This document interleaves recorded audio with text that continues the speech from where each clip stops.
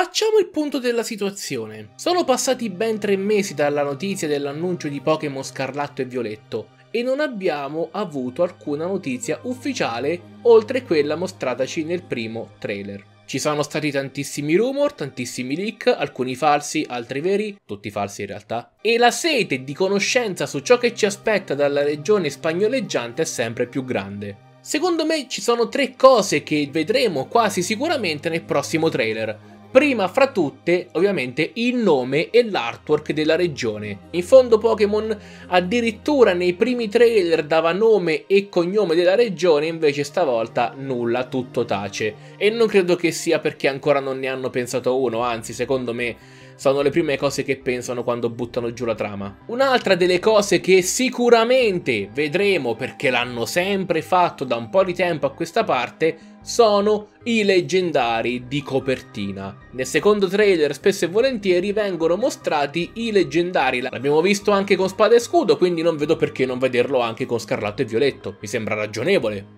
E ultima ma non meno importante è lo stile di combattimento. Alcuni insider hanno detto e specificato che no, il combattimento e la lotta saranno come in ottava generazione su spada e scudo.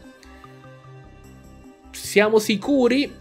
non ne sappiamo molto. Ci sono screenshot sul sito ufficiale Pokémon, ma nessuno mostra l'HOD. L'HOD sarebbe cosa scegliere quando sei in lotta, se fuggire, se combattere, la salute del tuo Pokémon, quella dell'avversario, eccetera.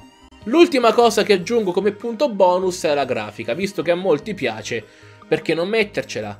Vogliamo miglioramenti grafici? Ma perché no? In fondo, l'occhio vuole dalla sua parte. I miglioramenti grafici si sono notati fin da primo trailer rispetto a leggende Pokémon Arceus, dallo scegliere dei Pokémon, dallo scegliere delle terre, e Seppur le animazioni sembrano sempre le stesse, in realtà i modelli dei Pokémon sono totalmente nuovi e grazie a Creatures che finalmente ha deciso di fare modelli totalmente in 3D. Guardando Spada e Scudo i miglioramenti grafici si sono visti dal terzo trailer, seppur piccoli, però c'erano. Insomma, quello che vogliamo vedere tutti, specialmente i leggendari e la terra, il nome, come è strutturata, ma anche insomma le lotte non è che ci fanno schifo, non è chiedere troppo. Magari chiedere troppo sarebbe vedere la meccanica nuova. Perché è ovvio che c'è una nuova meccanica, non possono sfuggire alla nuova meccanica della nuova generazione Pokémon.